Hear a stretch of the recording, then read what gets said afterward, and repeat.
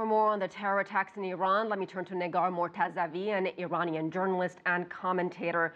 Negar, what do you make of the target, a military parade in Ahvaz? I'm assuming that was the target. Um, exactly. It was a military parade. And let's also be sure um, to mention that this wasn't just an IRGC parade. This is all uh, branches of the Iranian armed forces, which include many young people who are serving a mandatory service in the army.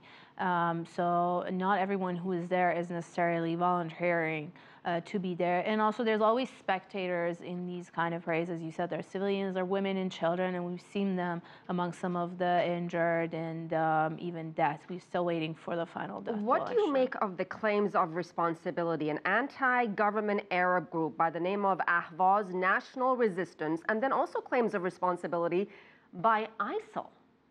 Right. Both groups have independently claimed responsibility. The government officials have said that they have killed a few of the attackers. There's also reports of a few suspects being arrested. Eyewitnesses also have reported that they saw some people being arrested. We still, I guess, have to wait and see if these two groups have done a coordinated attack or they're taking uh, responsibility for the same attack independently. But what's clear is that this was in the province of Khuzestan Ahvaz, which is an Arab Sunni minority uh, majority and there's also a lot of poverty and um, inequality, and there's a lot of uh, basically opposition to the government. But there's also these certain groups that take up arms and do armed resistance against the governments, which is also um, condemned by some of the civil groups. So there's even different factions within the anti-government that are existing. Let's put up a tweet by Iran's uh, Foreign Minister Javad Zarif. I'm going to read this out to you. Terrorists recruited, trained, armed and paid by a foreign regime have attacked Ahvaz, children, journalists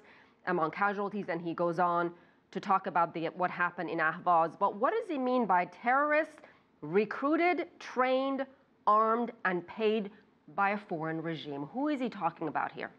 Well, there seems to be indirect references, or maybe even direct references, as we listen to other Iranian officials, to some of the Arab Gulf countries um, that have in the past uh, came out to support some of these groups, these Arab um, separatist groups or some of the anti-government. But let's also mention um, President Trump's national security advisor, John Bolton. Just last year, he wrote a piece on how to deal with Iran, and part of it specifically included, I just went back and read today, that the U.S. government should provide support and assistance to, he specifically says, the Arabs in Iranian Khuzestan, the Baluchis, and then these different other groups like the Kurds and uh, the different anti-government groups that he's talking about. So um, I mean, there's no clear report of who exactly is funding these groups or if they're Iranian or not, but the kind of support that has been mentioning for them is just widespread. And Iran says it will swiftly respond to the, these types of attacks. What can we expect from the Iranian government? What, what, what can they do to stop these types of attacks?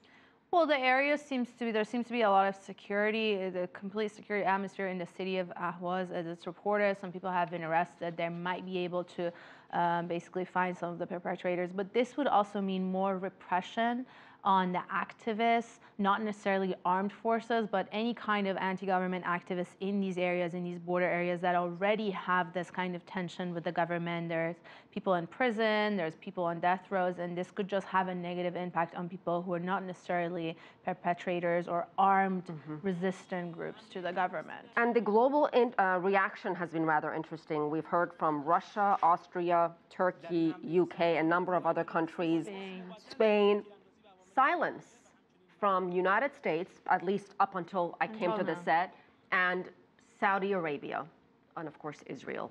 Um, what do you make of that?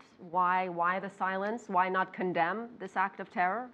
I guess we have to wait and see. It's a weekend for the White House because last time there was a terrorist attack in Tehran on the parliament, the um, administration, President Trump finally came out and they uh, condemned it a little later than others. I'm not very sure Saudi Arabia is going to come out and uh, condemn it. When I mentioned some of the Arab Gulf countries, we uh, let's be specific, specific that Oman, the country of Oman, did condemn the attack. But um, I guess we'll give the administration, the U.S. administration another day and see if they're going to All condemn right. at least the killing of civilians. Right. All right, we'll leave it there. Negar Mortazavi, a sad, tragic day in the city of Ahvaz. Thank, Thank you. you so much.